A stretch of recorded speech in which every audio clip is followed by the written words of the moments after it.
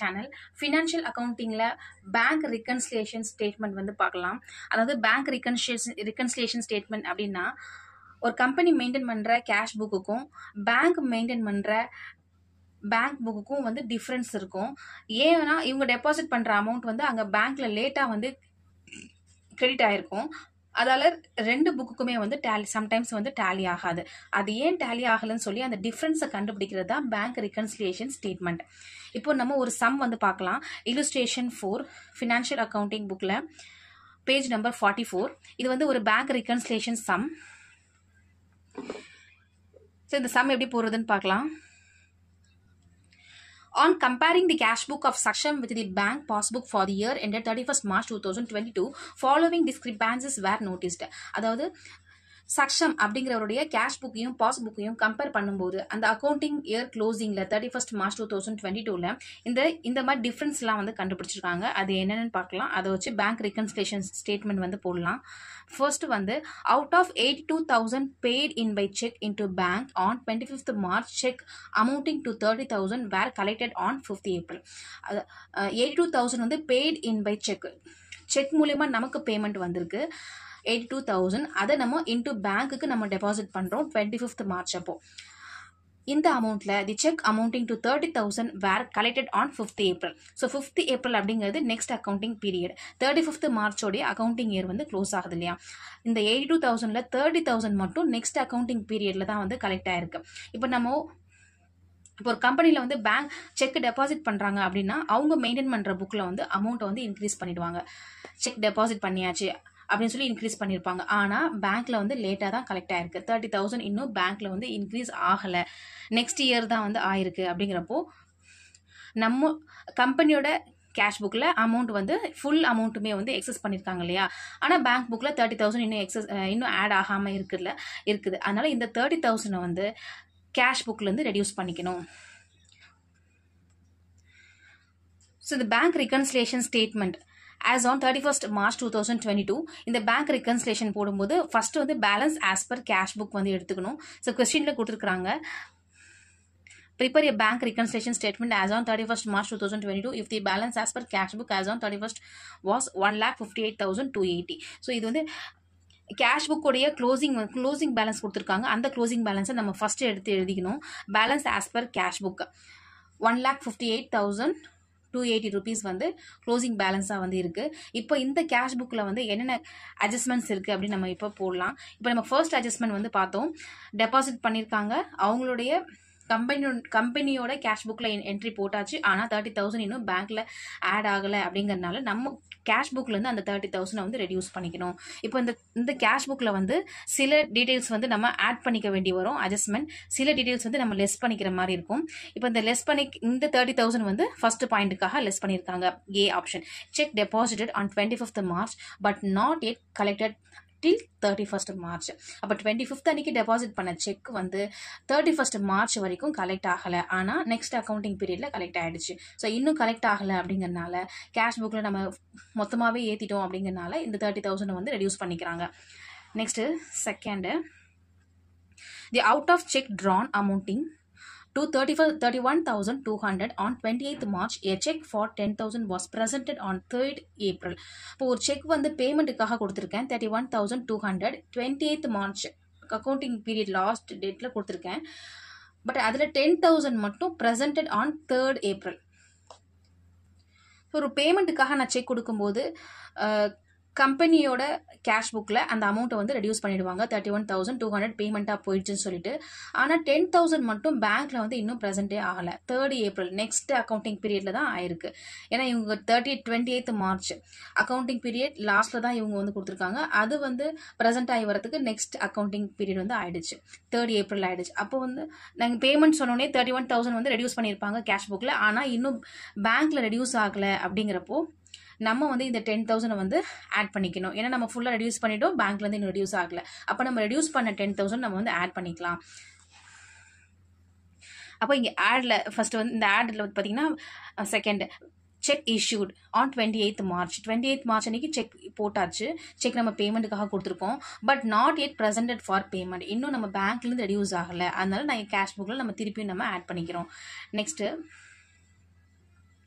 a cheque for four thousand enter in cash book ஒரு cheque வந்து receive ஆயிருக்கு. அதை நம்ம கேஷ் புக்கில் நம்ம என்ட்ரி பண்ணிட்டோம். ரிசீவ்டுன்னு காமிச்சிட்டோம். அப்போ நம்ம ஒரு செக் ரிசீவ் ஆயிருக்குன்னு நம்ம அப்போ கேஷ் புக்கில் வந்து கம்பெனி மெயின்டைன் பண்ணுற கேஷ் புக்கில் இன் ஆட் பண்ணியாச்சுன்னா அமௌண்ட் இன்க்ரீஸ் ஆயிருக்கும். பட் ஒமிட்டட் டு பி பேங்க்கில் இன்னும் இன்க்ரீஸ் பண்ணல அப்படின்னா ஃபோர் தௌசண்ட் கேஷ் புக்கில் ரிசீவ் ஆகிடுச்சு பேங்க் புக்கில் இன்னும் என்ட்ரி போடலை அப்படிங்கிறப்போ நம்ம கேஷ் புக்லேருந்து நம்ம இந்த ஃபோர் தௌசண்ட் நம்ம லெஸ் பண்ணி காட்டிக்கலாம். அதான் இந்த C option a cheque entered in cash book but not yet banked cheque receive ஆயிருக்கு அது கேஷ் புக்கில் காட்டியாச்சு. ஆனால் இன்னும் பேங்க்கில் இன்னும் ரிசீவ் ஆகலை. அப்போ கேஷ் புக்கில் அதிகமாக இருக்கும் இல்லையா? அப்போ பேங்க் புக்கோட டேலி ஆகிறதுக்காக நம்ம வந்து ஃபோர் தௌசண்ட் வந்து நம்ம லெஸ் பண்ணிக்கிறோம். Next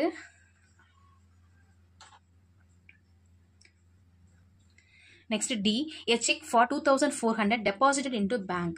2400 hundred cheque வந்து பேங்க்ல டெபாசிட் பண்ணியாச்சு but omitted to record in cash book but cash புக்கில் அந்த கம்பெனி வந்து ரெக்கார்டே போடல. And was collected by bank on twenty ninth March bank வந்து அந்த அக்கௌண்டிங் பீரியடுக்குள்ளேயே கரெக்டாக அந்த செக்கை வந்து கலெக்ட் பண்ணிட்டாங்க. பேங்க்ல இன்க்ரீஸ் ஆயிடுச்சு.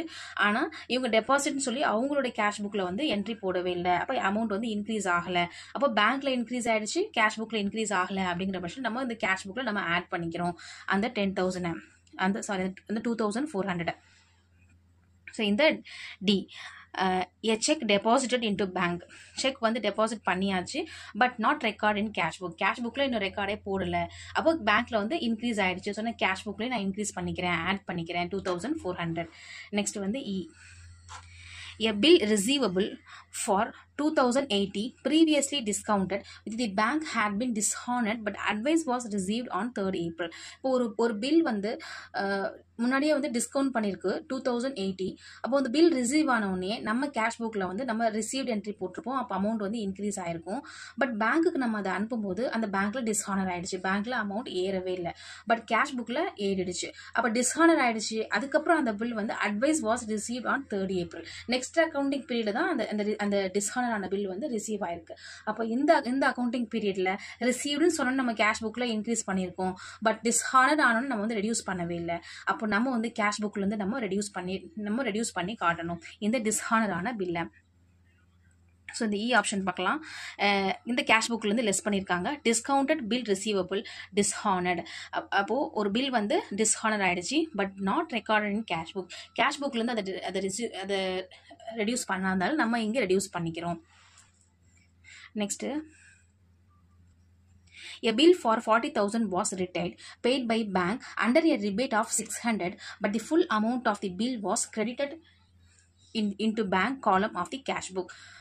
ஒரு பில் வந்து நம்ம நம்ம பேமெண்ட் ஒரு பில் வந்து பேமெண்ட் பண்ண வேண்டியது பேமெண்ட் வந்து பண்ணியாச்சு. அதாவது ரிட்டையர் பண்ணியாச்சுன்னா பேமெண்ட் பண்ணி முடிச்சாச்சு. பட் அதை ஏர்லியராக நம்ம பேமெண்ட் பண்ணதுக்காக ரிபேட் சிக்ஸ் ஹண்ட்ரட் வந்து ரிசீவ் பண்ணியிருக்காங்க. ரிபேட்னா அது ஒரு டிஸ்கவுண்ட் ரிசீவ் பண்ணுற மாதிரி சிக்ஸ் ஹண்ட்ரட் வந்து டிஸ்கவுண்ட் மாதிரி வாங்கியிருக்காங்க. அப்போ ஃபோர் தௌசண்ட் ஃபார்ட்டி தௌசண்ட்லேருந்து சிக்ஸ் ஹண்ட்ரட் கம்மியாக தான் பேமெண்ட் வந்து கொடுத்துருக்காங்க. ஆனால் கேஷ் புக்கில் full amount of bill was credited in the bank column of the cash book but அந்த கம்பெனி மெயின்டைன் பண்ணுற கேஷ் புக்கில் இருக்க பேங்க் காலமில் ஃபுல் அமௌண்ட்டுமே பேமெண்ட் கொடுத்ததா எழுதி எழுதியிருக்காங்க ஆனால் உண்மையிலே பார்த்தா அந்த ஃபார்ட்டி தௌசண்ட் வந்து ஏர்லியராக அவங்க ரிட்டர் ஃபினிஷ் பண்ணியிருக்கனால அவங்க சிக்ஸ் ஹண்ட்ரட் வந்து ரிபேட் வந்து வாங்கியிருக்காங்க. பட் அப்போது ஆக்சுவலாக அவங்க பேமெண்ட் பண்ணதுன்னு பார்த்தா thirty nine thousand four hundred தான். ஆனால் அவங்க அவங்க புக்கில் அவங்க ஃபுல் அமௌண்ட் பேமெண்ட் பண்ணதான் என்ட்ரி பண்ணியிருக்காங்க.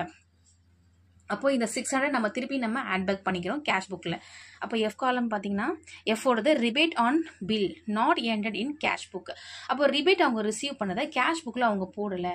அப்போ நம்ம வந்து அதை ஆட் பண்ணிக்கலாம். Next a cheque A check of 10,000 wrongly credited in the passbook on 29th March reversed on second April ஒரு செக் வந்து ten thousand wrongly credited in the passbook so பேங்க்கில் பேங்க் பேங்க்கில் பேங்க்கோடைய ஸ்டேட்மெண்ட்டில் டென் தௌசண்ட் வந்து amount வந்து ராங்காக credit ஆயிருக்கு. அதாவது ராங்காக இன்க்ரீஸ் ஆயிருக்கு. அதை டுவெண்ட்டி நைன்த் மார்ச் அன்னைக்கு. அதை வந்து சரி பண்ணுறாங்க செகண்ட் ஏப்ரல் அன்னைக்கு சரி பண்ணிட்டாங்க. அப்போ நம்ம இந்த அக்கௌண்டிங் இருக்கு. நம்ம கேல்குலேஷன் பார்க்கும்போது பேங்க்கில் வந்து டென் தௌசண்ட் அதிகமாக இருக்கும். அது என்ன? அது வந்து ஒரு ராங் கிரெடிட் ஆயிருக்கு. ஸோ பே பேங்க்கில் ராங்காக டென் தௌசண்ட் அமௌண்ட் வந்து இன்க்ரீஸாக இருக்குது அப்போ நம்ம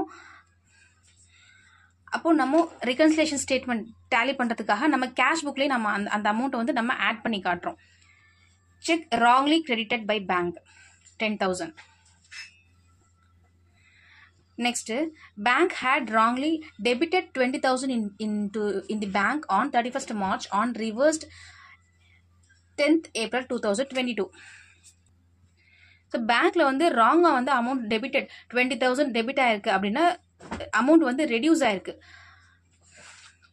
Reversed on tenth April two thousand twenty two அதை டுவென் டென்த் ஏப்ரல் டுவெண்ட்டி டூ அன்னைக்கு அவங்க சரி பண்ணியிருக்காங்க. அப்போ பேங்க்லேருந்து ராங்காக வந்து அமௌண்ட் வந்து ரெடியூஸ் ஆயிருக்கு. அதை ஆஃப்டர் டென்த் ஏப்ரலுக்கு அப்புறம் சரி பண்ணியிருக்காங்க. ஸோ நம்ம டேலி பண்ணுறதுக்காக நம்ம கேஷ் புக்லேருந்தும் அந்த டுவெண்ட்டி தௌசண்ட் நம்ம ரெடியூஸ் பண்ணி காட்டுறோம். Amount wrongly debited by the bank twenty thousand Next, a check of 800 drawn on the saving bank has been shown as drawn a current account in cash book. So ஒரு cheque வந்து கொடுத்துருக்காங்க saving அக்கௌண்ட்டில் ஆனால் அதை ராங்காக வந்து current அக்கௌண்ட்டில் வந்து கா கேஷ் புக்கில் காமிச்சிருக்காங்க. அப்போ கேஷ் புக்கில் அமௌண்ட் வந்து ராங்காக ரெடியூஸ் ஆயிருக்கு. ஸோ இதை டேலி பண்ணுறதுக்காக நம்ம ஆட் பேக் பண்ணிடுறோம். இந்த எயிட் ஹண்ட்ரட் ருபீஸை ஆட் பண்ணிக்கிறோம். இப்போ cheque drawn on saving bank saving பேங்க்கில் போட்ட ஒரு செக்கை வந்து ராங்காக வந்து கரண்ட் அக்கௌண்ட்டில் வந்து காமிச்சிருக்கோம். ஆனால் இது கரண்ட் அக்கௌண்ட்டில் காட்ட வேண்டிய அமௌண்ட் இல்லை. ஸோ டேலி பண்ணுறதுக்காக நம்ம அதை அந்த அமௌண்ட்டை நம்ம கேஷ் புக்கோட ஆட் பண்ணிக்கிறோம். இப்போது இந்த ஆஸ் பர் கேஷ் புக்கோட க்ளோசிங் பேலன்ஸ் ஐட்டம் எல்லாத்தையும் இதோட நம்ம ஆட் பண்ணிவிட்டு நம்ம இந்த அமௌண்ட் எல்லாமே நம்ம லெஸ் பண்ணி வரும்போது நமக்கு ஃபைனலாக வர்றது தான் பேலன்ஸ் ஆஸ் பர் பேங்க் புக்குடைய க்ளோசிங் பேலன்ஸாக வந்து இருக்கும். இப்போ இந்த அமௌண்ட் வந்து பேங்க் புக்குக்கும் கேஷ் புக்குக்கும் டேலி ஆகிடும் இது reconciliation statement thank you please subscribe my channel